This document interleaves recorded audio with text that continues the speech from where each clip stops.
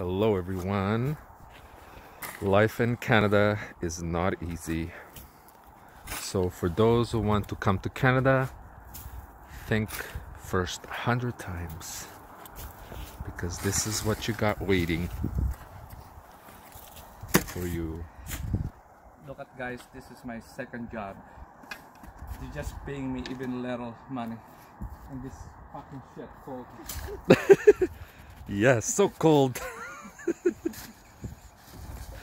so cold here in Canada and loads of snow. Wow, so much.